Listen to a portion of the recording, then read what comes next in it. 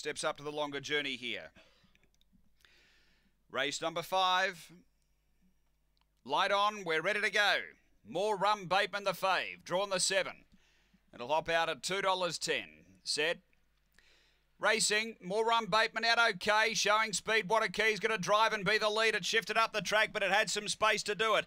So by the judge, a lap out, and what a key gets away. Out by four here on Stitch and Rosie. Then Crackerjack Jake behind those next. Dinah Alice, more run Bateman would be nine off the lead, and Mapunga Zeus back at the tail end. Down the back, it's what a key. Away by six lengths here over Crackerjack Jake. More run Bateman warming up, but with a lot of work to do. Then came Stitch and Rosie, but on the turn, what a key straighten the leader. Crackerjack Jake trying to bridge the gap, but what a key. What a key, too good. Second might be more run Bateman just from Crackerjack Jake, and then came Stitch and Rosie. Uh, next, Dinah Alice and Mapunga Zeus back at the tail. The time here is around 35 and 10.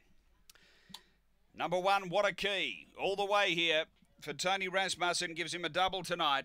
Uh, was able to drive through, get the speed, and has been far too good here. Number one, seven does grab second. More rum Bateman for Kevin Manane. And uh, third to two, Crackerjack Jake for Tim Richards. It's 172. Number four runs fourth after uh, race number five, and uh, he was able to get through. And that first turn was so crucial. He shifted out